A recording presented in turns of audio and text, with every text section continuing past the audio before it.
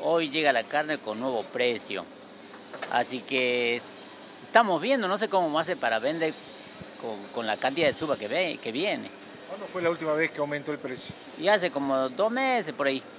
¿Cuándo calculan que va a ser el aumento? Y más o menos un 15, un 18, por ahí está Un corte eh, económico eh, de carne, eh, ¿a cuánto está y a cuánto sería?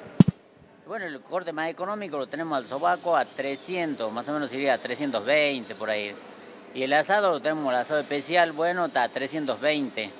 Que si no sé si lo podemos vender a 340, porque más de eso no se va a poder vender.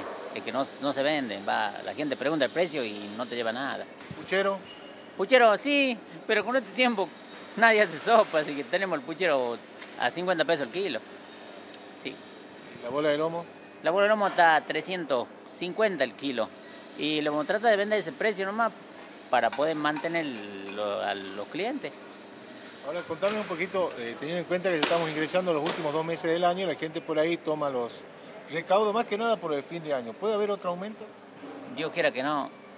Dios quiera que no, porque si no, no sé qué vamos a hacer nosotros los lo que vendemos carne.